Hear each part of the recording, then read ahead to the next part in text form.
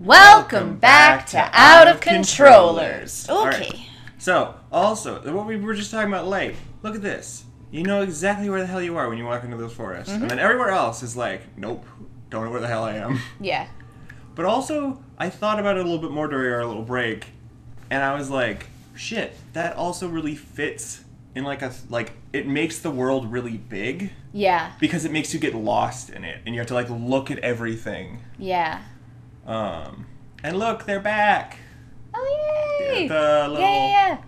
My husband came back. He said you gave him my pendant. Thank you very much. Uh huh. He told me all about it. He seems to got into some trouble in the city, and he told her everything. Oh, that's so good. but I don't blame him.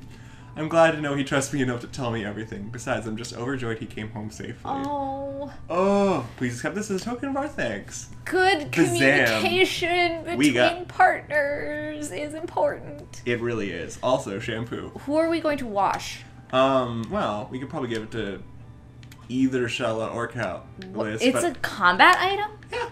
Do you put shampoo in the enemy's eyes and it stings them and hurts them?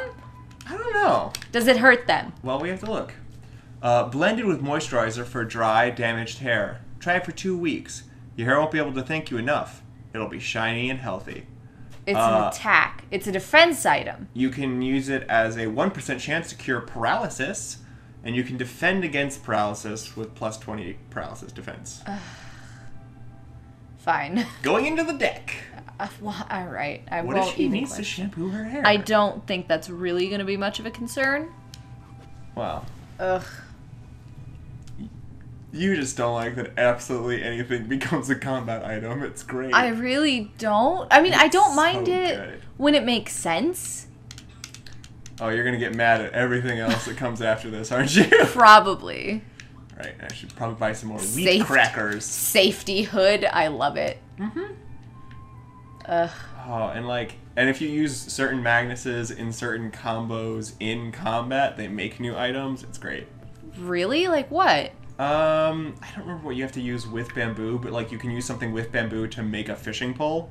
Nice. Yeah, it's just like ra- little odd combinations that made this game like fucking intriguing. See, yeah, like that's just that's a good Oh no. way to use the mechanic. I think I want the milk. you can't have it. I want the milk. You can't have it. I want the That's milk. That's shit. Wow. You can't have milk. I want. Yes. Give me that milk.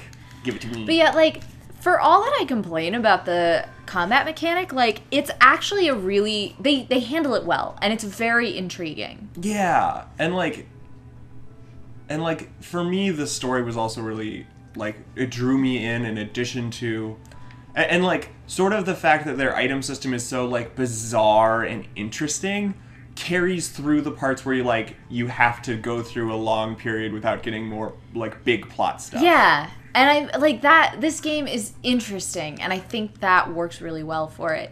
And like honestly, all I have of the plot right now is that um, we have uh, Mahi Tuna as our best friend. Uh, we're trying to kill Gilmore del Toro, uh, and Mercutio is an evil god. So. I mean, other than names, you're not really wrong. So, yeah, wait, what other side quests are there? And I know I'm getting the names wrong. I'm just making fun of the I know, names. it's I like like here's my thing is in video games I make fun of the characters' names a lot because you do. one I'm really bad at names. I'm good at like sound associations, but otherwise I'm bad at names and so it's a way for me to like kind of work through um like it's it's a way for me to like input something where it's like I know who this person is but I can't remember their name but it sounds kind of similar so you sort of know who I'm talking about Nice. and so it's a coping mechanism for me. All right, yes, I have to give this girl. Um, the unhappy looking man beside me is my daddy. He's been really feeling. He's been feeling really down lately. Oh no. Anyway, forget about daddy. They say you can find bluebirds of Oh my happiness God, somewhere on this island. I'd really love to have one. If you find one, please promise to bring the birdie to me, will you? Okay? Okay, it'll be dead though. Uh, yeah. Here's the dead bird. Here, kid, have Goodness. disease.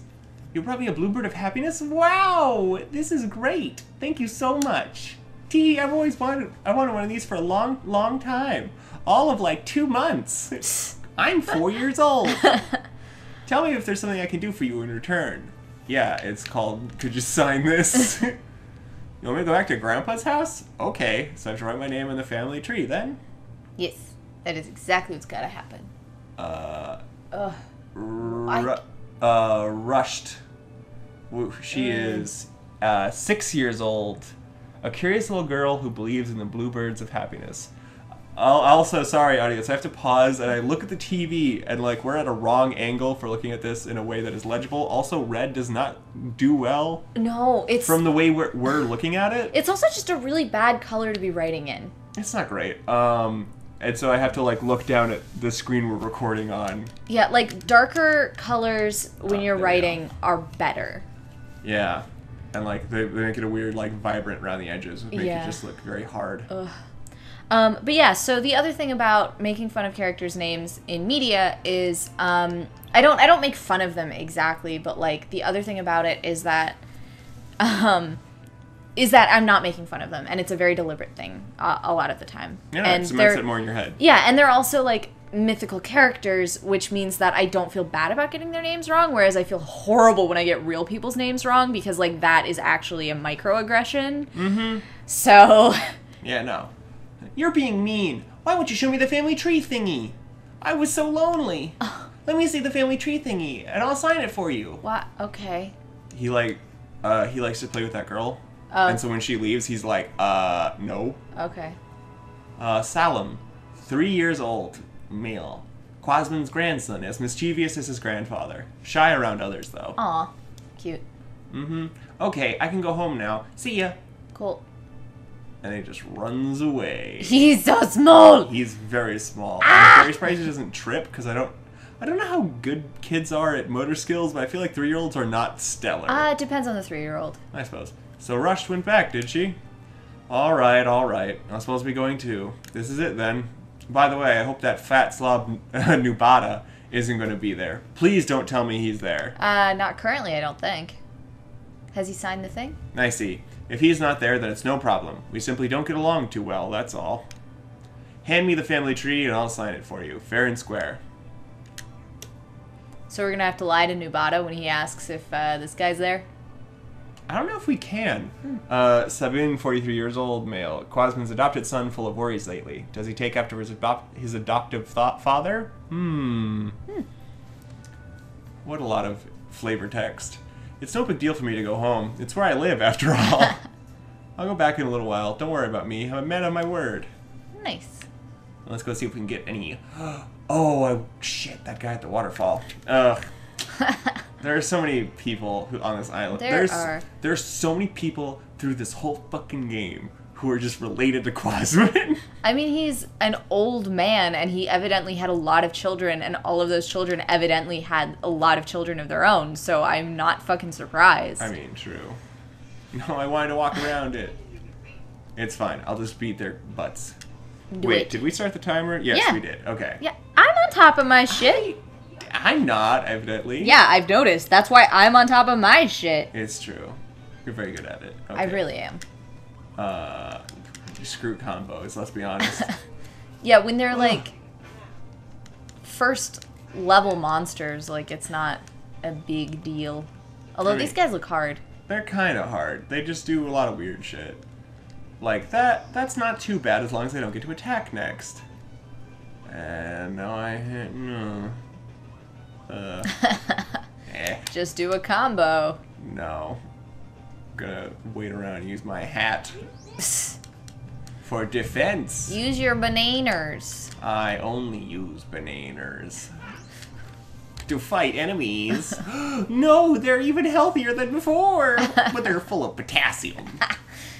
We'll overdose them on potassium. I mean, it can happen, right? I mean, you'd have to eat a lot of bananas. Oh, he just exploded. That's Oh, fine. good. So, okay, Yeah. I feel like, is there a thing where, like, so I physically can't eat more than one banana, or I Yeah. feel sick. Is that like a thing? Uh, it's a thing with a lot of people. Some people are like, I'll slice up two bananas and put them in my sandwich, and they're fine with that. But like, yeah, typically you just eat one banana. Yeah, like I just I even if I'm not full, I can't eat more than one banana. Mm-hmm. It's weird. Very filling bananas. No. I also am not a person who eats bananas, so I can't actually like give you a solid I answer. mean, they're one of the few fruits that I like, and like they're pretty low. Um, it, it, I don't have to work too hard to eat them. Whereas, like with an apple, I prefer them sliced okay, because I can eat them in smaller, manageable chunks. that is fair. Um, because like when I was young, sliced apples were really good. yeah, and like I. I don't mind full apples, but I get to a point where it's like I can't eat this anymore. Mm-hmm. and I don't want to eat it anymore, but there's still a lot on it, and then I feel bad. So if it's a sliced apple, then I can just kind of take it in little segments. And Yeah, that- you can just like bag the rest or whatever. yeah, exactly. And like you could probably bag a full apple, but like But that's I- absurd. I wouldn't eat it again, honestly, if it were like Yeah. bitten out of. It's it's too much of the like the wasted food item of bad guys in t- in media, Yeah, and so it's like, nah, son, I don't even wanna. yeah. Wait, will I be able to get this guy? I hate like I can vaguely remember getting all these people at some point, Mm-hmm. but like some of them are literally just you need to come back later, and later is actually just a measure of game time. Oh boy. It's so good. All right. Well, next time on Out of Controllers, we'll see. uh The man with the bracelet under a waterfall. Yep. Thanks for watching, you guys. Thanks for watching. Bye.